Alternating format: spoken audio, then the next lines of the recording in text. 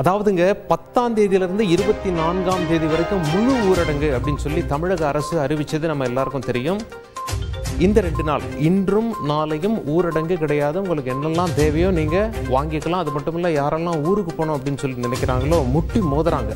பல பஸ் டிப்போக்களில் அந்த காட்சிகளை பார்க்க முடிகிறது. இதெல்லாம் ஒரு பக்கம் இருக்க. எது இயங்கும் எது இயங்காது என பார்த்து விடுவோம். முதலில் மளிகை பலசரக்கு காய்கறிகள் கடைகள்லாம் காலை ஆறு மணி முதல் பகல் பன்னெண்டு மணி வரை இயங்கும். நாளைக்கு எத்தனை மணிக்கு இயங்கும்னு சொல்லி கேட்டிங்கன்னா காலை ஆறு மணி முதல் இரவு ஒன்பது மணி வரை. உங்களுக்கு தேவையானதெல்லாம் வாங்கிக்கோங்க. இதெல்லாம் முழு ஊரடங்கு அமலில் இருக்கும் பொழுது எது இயங்கும் எது இயங்காது அப்படிங்கிறத பார்க்குறோம். இறைச்சி மீன் கடைகள் காலை ஆறு மணி முதல் பகல் பன்னெண்டு மணி வரை இயங்கும். தேநீர் கடைகள் அதாவது டீ கடைகள் பார்சல் மட்டும்தாங்க காலை ஆறு மணி முதல் பகல் பன்னெண்டு மணி வரை. வேளாண் உற்பத்தி உரம் விற்பனை கடைகள் இந்த பூச்சிக்கொல்லி மருந்து இதெல்லாம் விற்கிறாங்கல்ல காலை ஆறு மணி முதல் பகல் பன்னெண்டு மணி வரை இயங்கும். உணவகங்கள் பார்சல் மட்டும் அங்கேயே உட்காந்து நீங்க சாப்பிட முடியாது. பார்சல் வாங்கி கொண்டு தான் போக வேண்டும். அந்த பார்சல் நேரங்களை குறித்து கொள்ளுங்கள். மூன்று முறை பார்சல் கொடுப்பாங்க. காலை ஆறு மணியிலிருந்து பத்து மணி வரைக்கும். மதியம் பன்னெண்டு மணியிலிருந்து மூணு மணி வரைக்கும். மீண்டும் மாலை ஆறு மணியிலிருந்து இரவு ஒன்பது மணி வரையில் பார்சல் கிடைக்கும். உங்களில் நிறைய பேர் கேட்கலாம். நான்லாம் ஸ்விக்கி ஜொமேட்டோவை நம்பியே வாழ்ந்துட்டேனே. பார்சலுக்கெல்லாம் போக முடியாது. அவங்கள இயங்க அனுமதிச்சிருக்காங்களா? உணவகங்கள் இயங்குறது ஒரு பக்கம் அவங்க இயங்குறாங்களா அப்படின்னு சொல்லி உங்களில் சில பேர் கேட்கலாம். அவங்களும் இயங்க அனுமதி இந்த நேரத்தில் அப்படின்னு சொல்லி அரசு சொல்லியிருப்பது குறிப்பிடத்தக்கது. நீங்கள் அவங்க மூலயமா ஆர்டர் பண்ணனாலும் ஆர்டர் பண்ணிக்கலாம். நீங்களாக போய் கடையில் வாங்கினாலும் வாங்கிக்கலாம். ஆனால் இந்த நேரத்தில் தான் ஹோட்டல்களும் இயங்கும் அவர்களும் இயங்குவார்கள். சாலையோர உணவகங்கள் அப்படின்னு சொல்லி கேட்டிங்கன்னா அனுமதி இல்லைங்க. அம்மா உணவகங்கள் இயங்கும் அப்படின்னு சொல்லி அரசு சொல்லியிருக்காங்க. காய்கறி பூ விற்பனை நடைபாதை கடைகள் காலை ஆறு மணியிலிருந்து மதியம் பன்னெண்டு மணி வரை இயங்கும். ரேஷன் கடைகள் காலை எட்டு மணி முதல் மதியம் பன்னெண்டு மணி வரை இயங்கும்.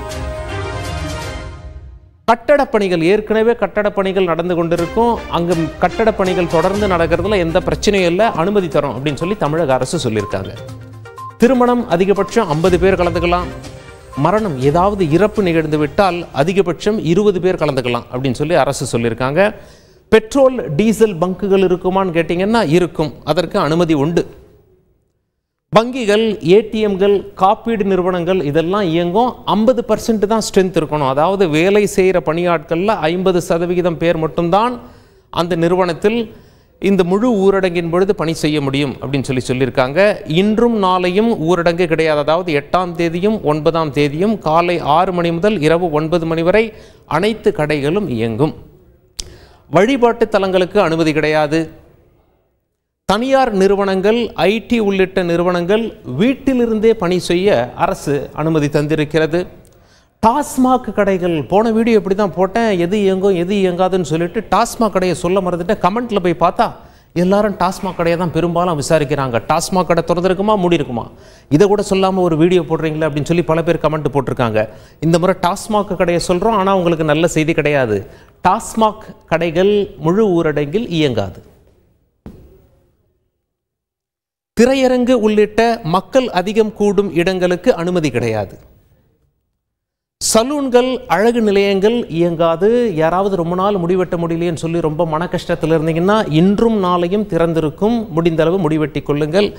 திங்கக்கிழமையிலிருந்து இயங்காது. இருபத்தி நான்காம் தேதி வரை. வெளிநாடு வெளி மாநிலங்களிலிருந்து வந்தால் இ பாஸ் கட்டாயம். அது ஒரு சிம்பிள் ஈஸி ப்ரொசீஜர் தாங்க. அந்த இ பாஸை எங்கே போய் நான் எடுப்பேன் அப்படின்னு சொல்லி நிறைய பேர் கேள்வி கேட்குறீங்க. இந்த வெப்சைட்டை குறித்து வச்சுக்கோங்க. இதில் போய் நீங்கள் பதிவு பண்ணி இ பாஸ் எடுத்துக்கலாம்.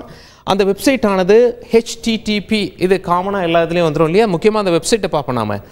இ register இஆர்இஜிஐஎஸ்டிஇஆர் dot TNEGA dot O R G மீண்டும் படிக்கிறவங்களுக்காக யாராவது இ பாஸ் எடுக்க விரும்புனீங்கன்னா இஆர்இஜிஐஎஸ்டிஇஆர் இ register dot TNEGA dot O R G இங்கே போய் நீங்கள் இ பாஸ் எடுத்துக்கலாம்.